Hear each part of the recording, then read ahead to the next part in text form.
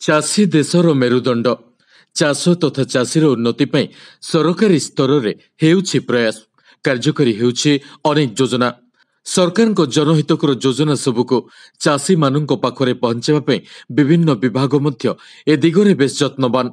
ଏ ଦିଗରେ ଚାଷୀଙ୍କ ଆବଶ୍ୟକତାକୁ ଅନୁଭବ କରି ଉଠା ଜଳସେଚନ ମାଧ୍ୟମରେ ଚାଷୀର ଜମି ପର୍ଯ୍ୟନ୍ତ ପାଣି ପହଞ୍ଚାଇବା ପାଇଁ ପ୍ରତିଶ୍ରୁତିବଦ୍ଧ ଓଡ଼ିଶା ଉଠା ଜଳସେଚନ ନିଗମ। ଇତିମଧ୍ୟରେ ଓଡ଼ିଶା ଉଠା ଜଳସେଚନ ନିଗମ ତାର ସତଚାଳିଶତମ ପ୍ରତିଷ୍ଠା ଦିବସ ଭୁବନେଶ୍ୱର ସ୍ଥିତ ରବୀନ୍ଦ୍ର ମଣ୍ଡପରେ ପାଳନ କରିଛି। ଏହି କାର୍ଯ୍ୟକ୍ରମରେ ନିଗମର ଉଚ୍ଚ ପଦସ୍ଥ ଅଧିକାରୀ ବିଭିନ୍ନ ଜିଲ୍ଲାର କର୍ମକର୍ତ୍ତା ତଥା ଅନେକ ଚାଷୀ ମଧ୍ୟ ଯୋଗ ଦେଇଥିଲେ। ଏହି ପ୍ରତିଷ୍ଠା ଦିବସ କାର୍ଯ୍ୟକ୍ରମରେ ଓଡ଼ିଶାର ବିଭିନ୍ନ ଜିଲ୍ଲାର ସଫଳ ଚାଷୀମାନଙ୍କୁ ସମ୍ବର୍ଦ୍ଧିତ କରାଯାଇଥିଲା।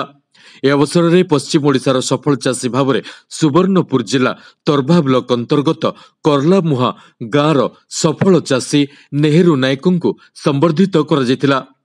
ଉଠା ଜଳସେଚନ ନିଗମ ସହାୟତାରେ ନେହେରୁ ଗଭୀର ନଳକୂପର ସହାୟତା ପାଇବା ସହିତ ଅଞ୍ଚଳରେ ଜଣେ ସଫଳ ଏବଂ ଅଗ୍ରଣୀ ଚାଷୀର ମାନ୍ୟତା ପାଇଛନ୍ତି।